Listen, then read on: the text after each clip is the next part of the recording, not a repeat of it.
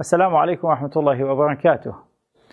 آه، ورد عنوان في منهاج الصالحين بالنسبة للرخصة في الإفطار تحت عنوان الشيخ والشيخة آه، ويقصد به العجزة والطاعنين في السن. فما هو حكم الصيام بالنسبة للعجزة والطاعنين في السن؟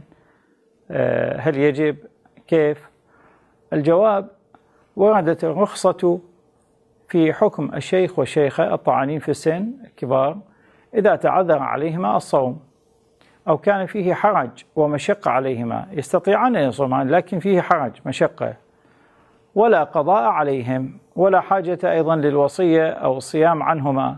نعم يجب دفع الفدية عن كل يوم إطعام مسكين حسب ما ورد في النص في المنهاج. والسلام عليكم ورحمة الله وبركاته.